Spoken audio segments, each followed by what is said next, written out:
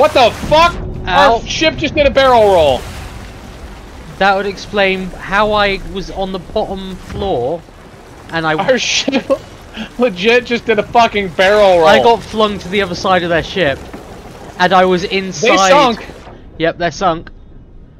But I legitimately, I was on the bottom deck, and I flung over their